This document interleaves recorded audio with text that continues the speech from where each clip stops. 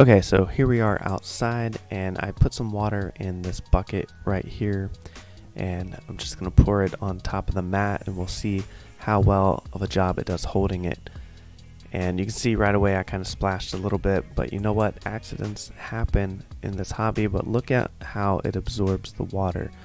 Look at all that water. The microfiber's doing a great job holding the water. Let's take a look underneath. Completely dry.